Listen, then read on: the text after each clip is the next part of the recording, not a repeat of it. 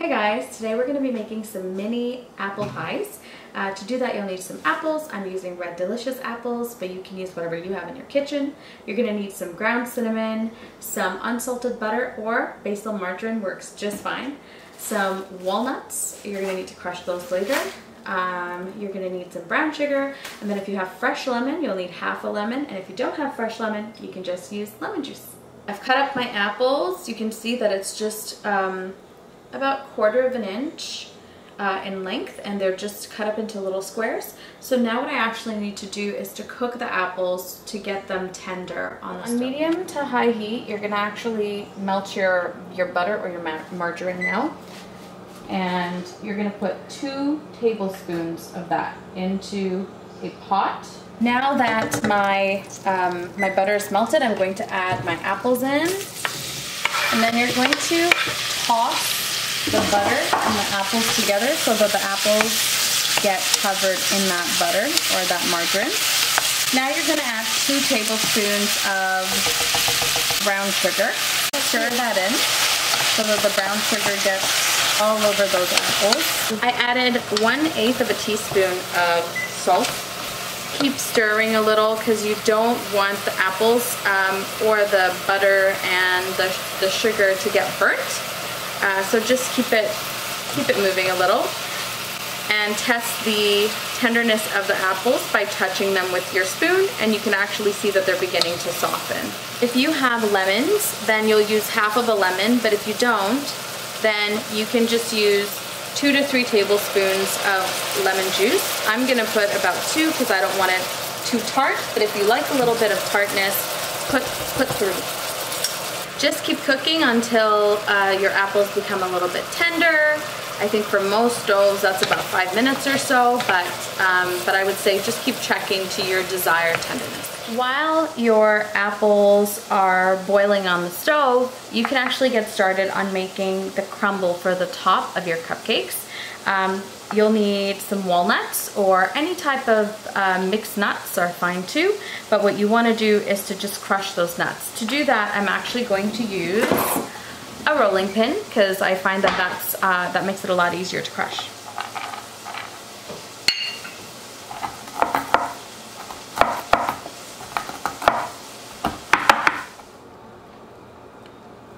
To make your crumble topping, you're actually going to need um, some flour as well. Just a quarter of a cup is good enough.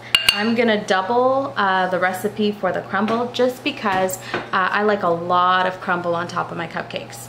So it's really up to you. If you if you don't mind having a little, then uh, follow the recipe at just a quarter of a cup. Um, but if you want more of a crunch, then double the recipe. So you're gonna add half a cup of all-purpose flour. I'm also going to put half a cup of brown sugar. Again, if you're just doing one um, set of this recipe, then you're gonna put a quarter of a cup. I'm also gonna add four tablespoons of margarine. If you're just halving the recipe, then use uh, only two tablespoons.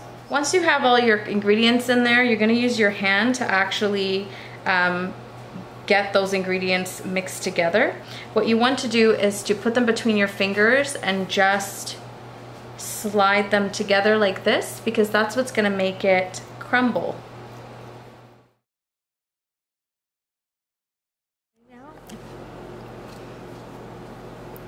Take your store-bought cinnamon rolls, separate them out, and you're gonna put one cinnamon roll in each of these uh, cupcake holes and then you're gonna tap it in to the side. So I'm gonna stuff it in there. And I'm just gonna press down to form the base. Just like that. If you buy the giant cinnamon rolls and you find that they don't fit into your pan, that's okay. Just open the roll and rip a piece of it off. So I ripped about maybe this much. And then you can actually put it nicely into your pan and you just want to take your fingers and make a dent in the middle and then you just roll slide your fingers up the ends to actually create a dip so that you can add filling into the pie. You're now going to spoon that filling that you made before into each of these You just judge based on your pan and kind of how things are looking when you put it in, how much you actually want to put in. Now you're gonna take some of that apple crumble and you're gonna put it on top. Just like that. Just like